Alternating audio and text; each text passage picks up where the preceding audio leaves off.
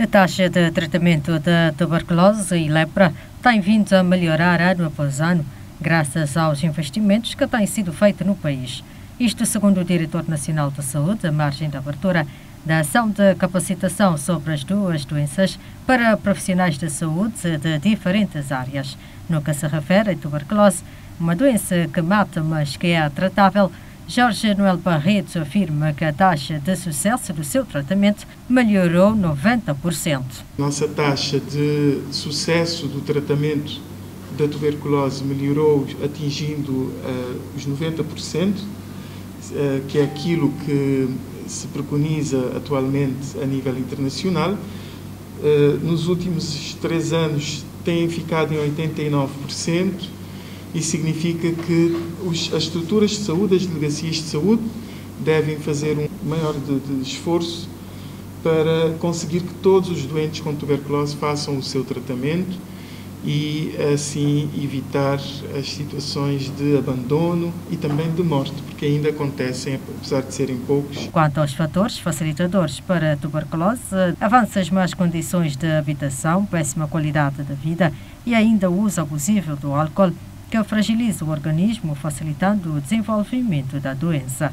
Jorge Noel Barreto informa ainda que houve uma redução na taxa de incidência da tuberculose de mais de 50%.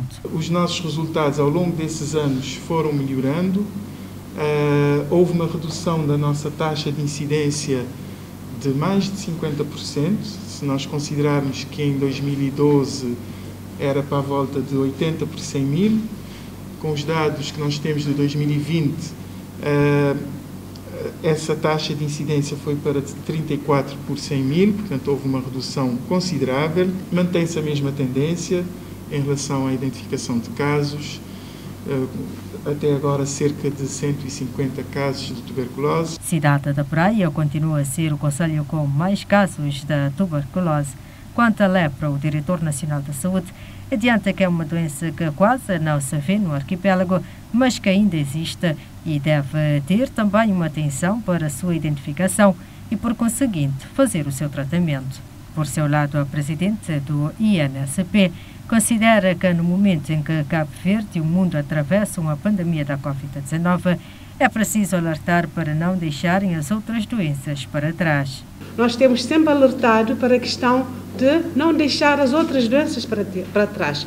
Continuarmos vigilantes, não só nas doenças não transmissíveis, como nas doenças crónicas não transmissíveis, porque são desafios importantes que nós temos na área da tuberculose, a redução da incidência e da prevalência da tuberculose no país, eliminação final da lepra como problema de saúde pública, não é? Nós Sabemos que atualmente a lepra não é considerada em Cabo Verde um problema de saúde pública, felizmente, mas anualmente há sempre casos de lepra que vão aparecendo, então a necessidade de erradicar a lepra. Maria da Luz Lima acrescenta que também é importante assegurar que não haja resistência no tratamento das referidas doenças.